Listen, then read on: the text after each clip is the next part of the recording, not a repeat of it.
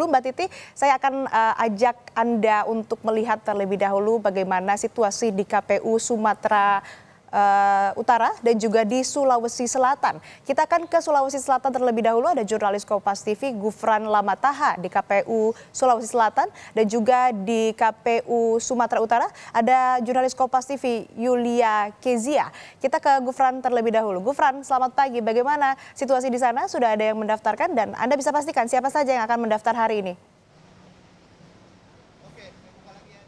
Ya, selamat pagi Asri dan juga saudara. Sekarang saya sedang berada di halaman KPU Provinsi Sulawesi Selatan dan memang uh, situasi di sini sudah sangat ramai karena memang uh, penjagaan ketat sudah dilakukan sejak kemarin dari Polda Sulawesi Selatan dan juga Brimo Polda uh, Sulawesi Selatan. Tadi kita sempat berbicara dengan Ketua Komisi Pemilihan Umum atau KPU Provinsi Sulawesi Selatan menyatakan bahwa memang pendaftaran untuk hari ini belum menerima konfirmasi dari uh, paslon uh, gubernur maupun juga calon wakil gubernur di Pilgub 2024 kali ini. Namun untuk uh, hari-hari berikutnya sudah mendapatkan konfirmasi di hari ketiga tepatnya hari Kamis tanggal 29 Agustus 2024 KPU Provinsi Sulawesi Selatan ini sudah mendapatkan uh, surat penyampaian secara resmi dari pasangan calon Muhammad Ramdan Pemanto dan juga Azhar Arsyad yang rencananya akan melakukan pendaftaran di KPU Provinsi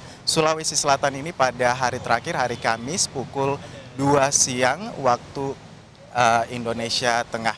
Dan juga saudara memang uh, untuk pasangan lainnya uh, tadi KPU juga menyampaikan bahwa belum bisa memastikan nih ada berapa banyak uh, pasangan ataupun juga pasangan calon gubernur dan juga wakil gubernur di Pilgub 2024 kali ini karena memang nanti akan dipastikan setelah periode pendaftaran KPU berakhir. Namun sudah dapat di, hampir dipastikan di Provinsi Sulawesi Selatan ini ada dua paslon uh, yang tercuat yakni ada Muhammad Ramdan Pemanto dan juga Azhar Arsyad dan pasangan calon berikutnya ada Andi Sudirman Sulaiman dan Fatmawati Rusdi. Kalau kita uh, melihat bahwa mekanisme pendaftaran yang ditentukan oleh KPU Provinsi Sulawesi Selatan ini di tempat saya berdiri ini merupakan uh, penerimaan ataupun juga tribun penerimaan dari uh, partisipan dan juga pendukung paslon yang nantinya akan melakukan pendaftaran di KPU Provinsi Sulawesi Selatan. Dan itu juga dibatasi jumlahnya hanya boleh uh, maksimal 150 orang. Itu sudah termasuk dengan keluarga besar dan juga uh, kedua pasangan calon gubernur dan juga wakil gubernur.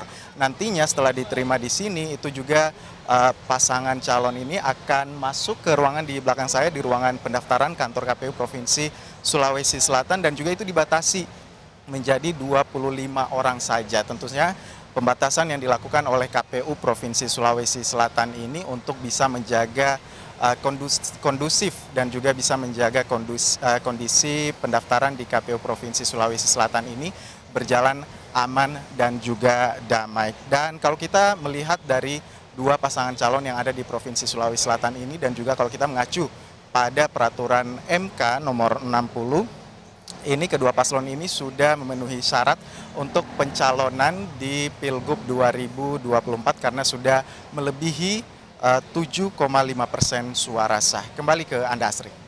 Ya baik akan ada dua pasangan calon yang mendaftar ke KPU Sulawesi Selatan begitu di antara rentang tanggal 27 Agustus sampai dengan 29 Agustus. Nah sekarang kita akan beralih ke KPU Sumatera Utara. Ada jurnalis Kompas TV Yulia Kezia di sana.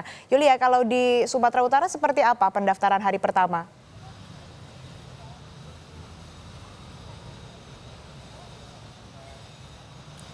Baik, selamat pagi saudara. Saat ini saya sudah berada di kantor KPU Sumatera Utara, tepatnya di Jalan Perintis Kemerdekaan, Kecamatan Medan Timur, Kota Medan. Dan di mana hari ini juga merupakan hari pertama pendaftaran untuk bakal calon Gubernur Sumatera Utara pada Pilkada 2024 ini ya saudara. Dan uh, se sejauh ini untuk uh, pantauan kami di lokasi, uh, KPU sudah melakukan persiapan merupakan uh, bisa saudara lihat di belakang sudah ada tenda, tenda yang cukup besar yang nantinya akan digunakan untuk menunggu dari partai pendukung uh, para bakal pasangan calon. Dan di atas juga di lantai dua sudah terdiri dari aula utama yang nantinya akan dilakukan proses pendaftaran dari bakal calon itu sendiri. Dan panitia pendaftaran juga sudah menyusun beberapa kursi yang nantinya terbagi dari komisioner KPU yang akan melakukan uh, penerimaan pendaftaran dan juga nanti akan ada kursi dari uh, partai politik pendukung bakal calon uh, Gubernur Sumatera Utara dan kursi dari guber, uh, bakal calon Gubernur Sumatera Utara. Tetapi saudara, hingga saat ini informasi yang kami dapatkan dari salah satu komisioner KPU Sumut uh, sejauh ini untuk hari ini belum ada informasi resmi uh, dari bakal pasangan calon yang akan mendaftarkan pada hari ini, saudara. Dan e, tercatat juga untuk Sumatera Utara sendiri sudah ada nama dua nama yang tercuat yang nantinya akan e, maju menjadi bakal pasangan calon untuk uh, mengusungkan diri menjadi bakal pasangan calon untuk uh, Pilkada 2024 ini. Yang pertama itu ialah uh, Bobi Bobi Nasution yang merupakan wali kota Medan saat ini dan wakilnya Surya yang merupakan mantan Bupati Asahan dan juga yang kedua ada Edi Ramayadi yang merupakan mantan gubernur Sumatera Utara pada 2020 2018 sampai 2023 dan dan uh, dan juga untuk uh, wakilnya yaitu Sagala yang merupakan tenaga ahli Menteri Agama Republik Indonesia. Dan uh, sejauh ini untuk Bobby informasi yang kami dapatkan mereka akan mendaftarkan pada besok hari dan juga untuk Edi sendiri nantinya akan mendaftarkan pada tanggal 29 Agustus ini.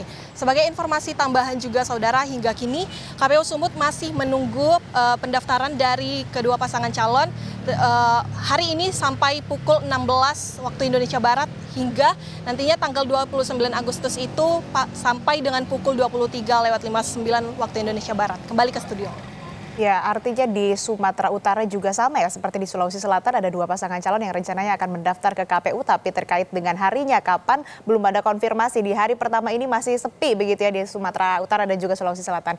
Terima kasih laporan Anda jurnalis Kompas TV Yulia Kezia dari Sumatera Utara dan juga sebelumnya ada Gufran Lamataha dari Sulawesi Selatan. Selamat bertugas kembali rekan-rekan.